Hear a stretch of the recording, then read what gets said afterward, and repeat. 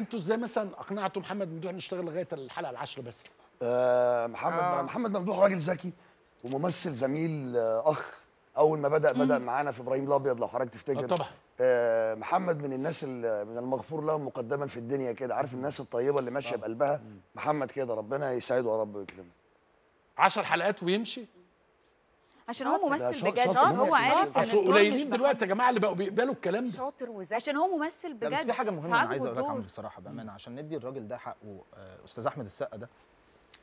آه، الراجل ده أنا قابلت معاه حاجات آه، غريبة جدا.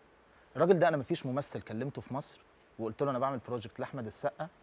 حتى لو مشهده ما يجيش لأن هو بيحب زمايله وزمايله بيحبوه اللهم أنا استغربت. جدا من الحكاية أي دي. حد أنا بكلم أي حد في التليفون يقول لي يقول طبعا لي أمير كرارة صاحبي. أقول له صاحبك إيه ده؟ أنت لازم تولع فيه زي ضحي ليه؟ حرام عليك.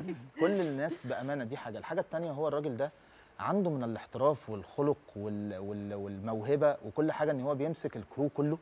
250 بني آدم وراهم شغال بتاع 500 بني آدم تانيين. تلاقيه عارف كل واحد باسمه بمشاكله بس بيستوعبه بيحبه.